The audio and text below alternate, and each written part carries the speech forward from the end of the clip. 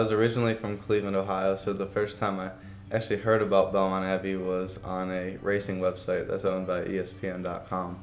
And the, the first time I ever heard about it was in relation to the motorsports program that was here. And that was before I was ready to actually start my college search. I was about a freshman in high school, but bookmarked the page and uh, a couple years later, mom and dad said, hey, you know, you got a couple days here for college visits. You want to check out this school and this school? I said, well, we could do that, but what about this school called Belmont Abbey?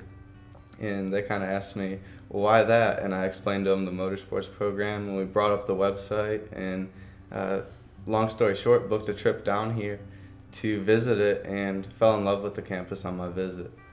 I really chose Belmont Abbey for three reasons. And one was that I was really attracted to the motorsports program and the curriculum and the opportunities that I saw that it would offer.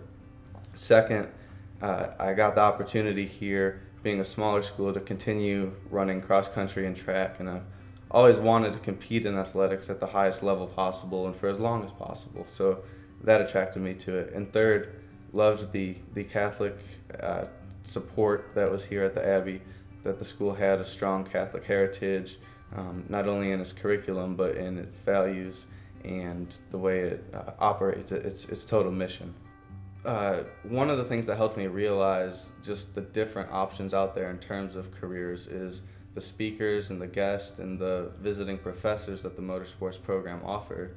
Uh, you know, you weren't just learning from the staff, which is a phenomenal experience, um, but you get to learn from industry thought leaders and professionals and people that have done what you're trying to do, that have made a career out of, you know, this this thing that you're trying to pursue.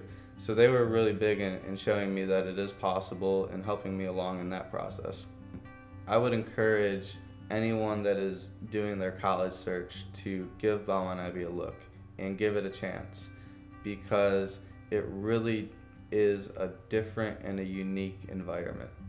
It's unique in that you'll have relationships here that you might not have at other um, institutions. You'll have relationships with friends and your peers, but you'll also have deep relationships with your staff or with the staff and your professors.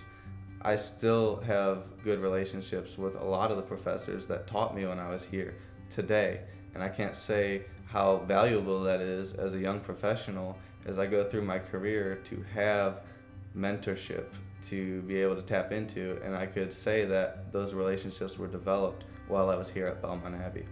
And Belmont Abbey did a phenomenal job preparing me to be a well-rounded individual coming out of uh, college.